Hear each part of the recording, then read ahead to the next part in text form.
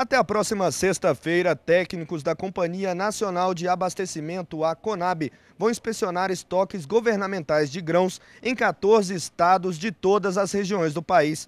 Os fiscais vão verificar em mais de 120 unidades como essa as condições de armazenagem, a conservação dos produtos e a quantidade de grãos.